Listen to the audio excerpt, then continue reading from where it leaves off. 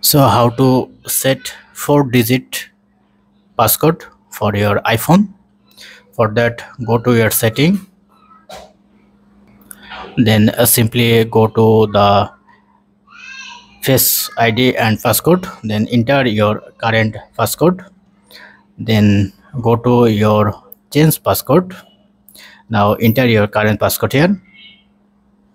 And then here is the six digit normally you see this kind of interface press on passcode option then you can see the four digit numerical code or custom code or custom alphabet as well.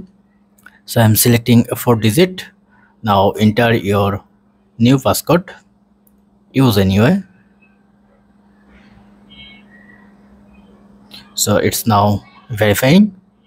Once done now you able to access this four digit passcode so that's it. Don't forget to thumbs up and to subscribe. Have a good day